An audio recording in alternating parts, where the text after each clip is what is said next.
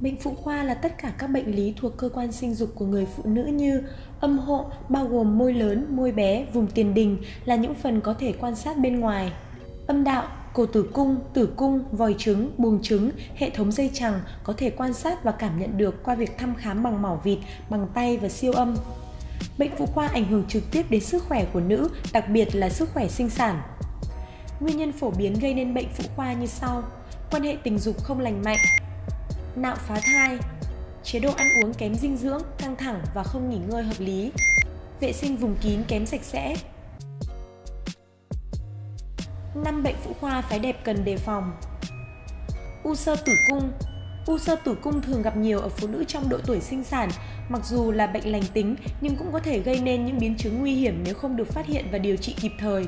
Tùy vào kích thước của khối u cũng như độ tuổi và nguyện vọng của người bệnh, bác sĩ sử dụng các biện pháp điều trị khác nhau như điều trị nội khoa, dùng thuốc trong trường hợp khối u còn nhỏ, mổ bóc tách khối u đối với phụ nữ vẫn có nhu cầu sinh đẻ. Nếu bệnh nhân đã lớn tuổi, có thể mổ cắt bỏ tử cung. U nang buồng trứng Bệnh chủ yếu xuất hiện ở phụ nữ trong độ tuổi dậy thì hoặc mãn kinh với triệu chứng nhận biết rất mơ hồ. Nếu không điều trị kịp thời có thể chuyển thành ung thư buồng trứng, đe dọa nghiêm trọng đến khả năng phát triển trứng, dụng trứng, từ đó gây khó khăn trong quá trình thụ thai. Với u nang buồng trứng, việc điều trị phụ thuộc vào tính chất của khối u, lành hay ác tính. Không thể xác định được tính chất khối u thông qua các xét nghiệm hoặc thăm khám mà phải giải phẫu chi tiết. Trong trường hợp nghi ngờ ung thư, nhiều bệnh nhân phải cắt bỏ buồng trứng để không gây hại cho sức khỏe.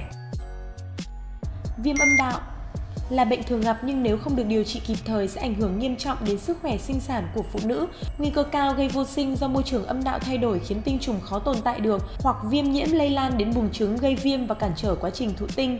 Thiếu nữ chưa từng quan hệ tình dục, tỷ lệ mắc bệnh viêm nhiễm đường sinh dục thấp hơn vì có màng trinh bảo vệ. Vì thế, phụ nữ đã lấy chồng hoặc có quan hệ tình dục thì nguy cơ mắc bệnh cao hơn. Người đã từng phá thai có nguy cơ viêm âm đạo và viêm cổ tử cung cao gấp 2 lần. Phụ nữ đã sinh con thì nguy cơ viêm âm đạo cao gấp 2,4 lần. Ngoài ra, rửa sâu vào âm đạo có nguy cơ gây viêm nhiễm đường sinh dục dưới gấp 1,6 lần. Viêm lộ tuyến cổ tử cung đây là căn bệnh lành tính nhưng cũng là khởi nguồn của một số bệnh phụ khoa nguy hiểm ảnh hưởng đến khả năng sinh sản, thậm chí có thể gây ung thư cổ tử cung nếu không điều trị kịp thời. Bệnh khá phổ biến ở phụ nữ trong độ tuổi sinh đẻ, thời kỳ buồng trứng hoạt động mạnh hoặc do bẩm sinh. Viêm lộ tuyến cổ tử cung thường có nguyên nhân chủ yếu do viêm hoặc sang chấn như rách cổ tử cung, nạo hút nhiều lần làm hủy hoại các lớp mô bên trong cổ tử cung gây nên lộ tuyến. Khi bị viêm lộ tuyến cổ tử cung, bạn sẽ thấy các biểu hiện rõ rệt nhất là khi xuất hiện khí hư, cảm giác đau vùng âm hộ và tăng lên khi đi lại. Viêm buồng trứng Nguyên nhân do vi khuẩn và các tác nhân gây bệnh khác, bệnh nếu không được điều trị kịp thời có thể dẫn tới ung thư buồng trứng và gây vô sinh cho nữ giới. Biểu hiện của bệnh là khí hư ra nhiều kèm theo đau vùng hạ vị liên tục và dữ dội hoặc một số biểu hiện khác như sốt cao, sưng hậu môn, đau ngực dưới, đau hạ sườn phải. Bệnh nặng hơn khi cơ thể cảm thấy mệt mỏi thường xuyên và kinh nguyệt không đều.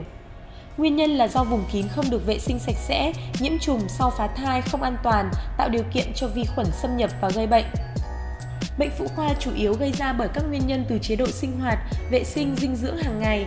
Vì vậy, cách phòng tránh hiệu quả nhất các nguy cơ của bệnh là cần thay đổi những thói quen sống không lành mạnh, cụ thể như quan hệ tình dục lành mạnh, tăng cường chế độ ăn uống dinh dưỡng nghỉ ngơi hợp lý, tránh để bị căng thẳng, vệ sinh vùng kín sạch sẽ, khám phụ khoa định kỳ, Tâm lý e ngại hay chủ quan với các dấu hiệu của bệnh thường khiến chị em không thực hiện khám phụ khoa. Đến khi bệnh đã tiến triển nặng thì thường gây ảnh hưởng nghiêm trọng đến sức khỏe và khả năng sinh sản.